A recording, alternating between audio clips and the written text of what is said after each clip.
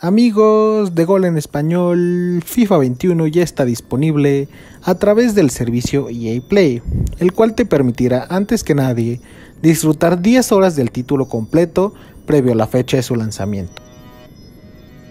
Uno de los modos de juego más populares alrededor del mundo es Ultimate Team, en el cual a través de cartas y sobres podrás hacerte el equipo de tus sueños de una manera más fácil que en otros modos de juego.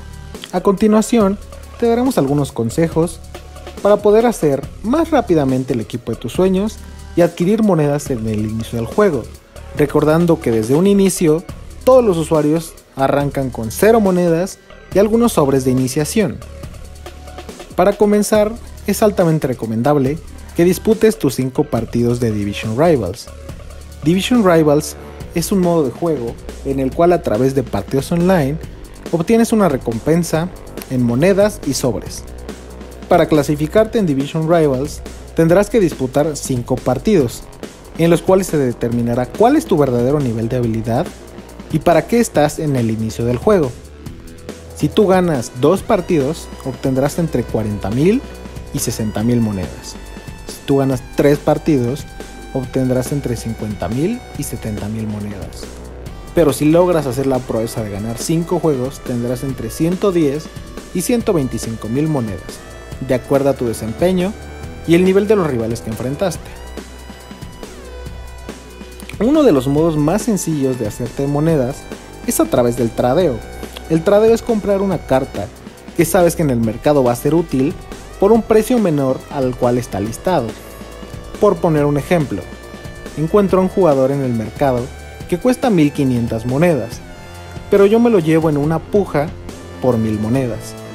Si lo vendo en 1500 monedas, obtendría 500 monedas de beneficio, lo cual no es una cantidad muy grande, pero imagina si adquieres 20 de este jugador, ¿cuánto podrías obtener?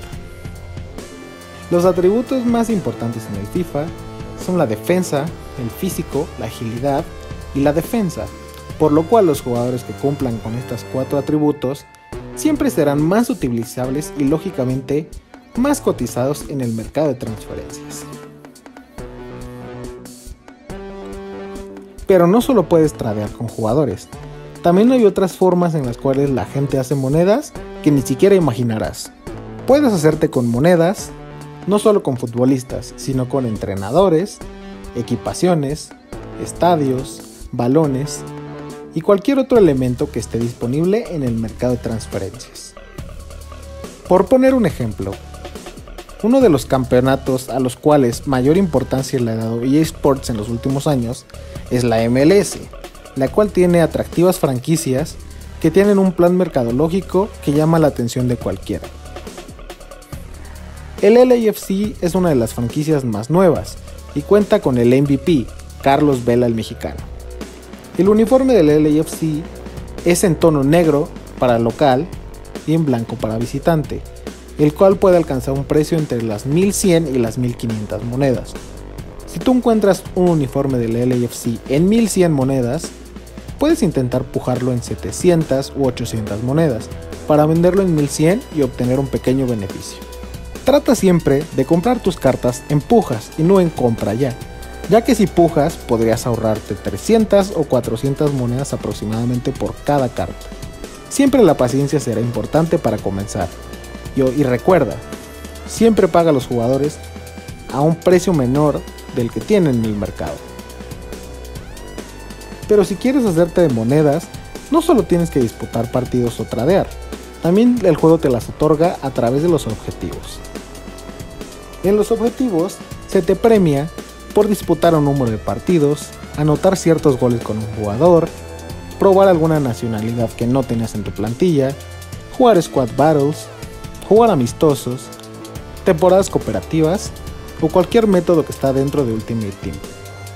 Las recompensas que te dan los objetivos no solo son de forma económica, también te dan sobres, tifos y cualquier otro elemento para animar tu estadio. Recuerda seguirnos en nuestras redes sociales para tener más consejos de FIFA 21.